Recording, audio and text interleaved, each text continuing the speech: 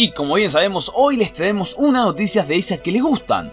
Vamos a estar hablando de Guillermina Valdés, quien estas últimas semanas estuvo en el ojo de la tormenta tras su separación con Marcelo Tinelli. Si bien nunca se conocieron los motivos, la separación generó bastante revuelto en el mundo de la farándula. Pero hoy vamos a estar hablando de que denunciaron a Guillermina Valdés por una supuesta estafa. Así es como lo escuchan, pero para más información Quédense viendo este video con nosotros.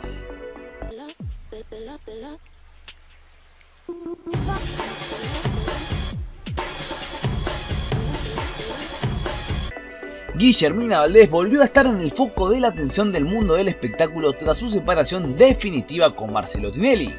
En esta ocasión, la mediática sufrió un scratch en las redes sociales por parte de un inversionista que asegura que fue estafado por la marca de zapatos que tiene la empresaria como responsable.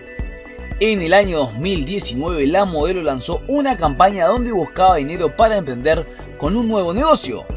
Aquellas personas interesadas debían entregar una suma de dinero, con la promesa de devolución del monto en dólares y con intereses.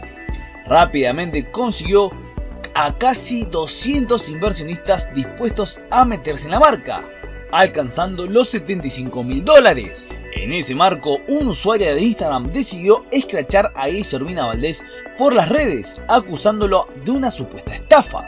El cumple se festeja con la cancelación del préstamo que te hicimos los que invertimos.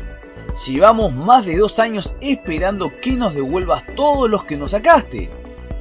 La cuenta de esa plataforma llamada Josep Mi aportó claridad en este reclamo y publicó picante comentario en las fotos del cumpleaños de Guillermo Valdés.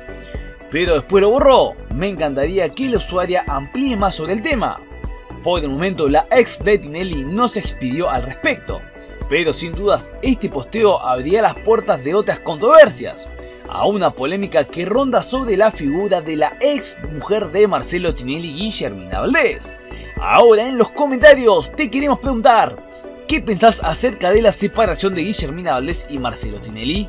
¿Para vos está bien que el cabezón se haya separado y haya dejado a Guillermina? Te leemos en los comentarios. No olvides darle me gusta a este video y suscribirte a nuestro canal.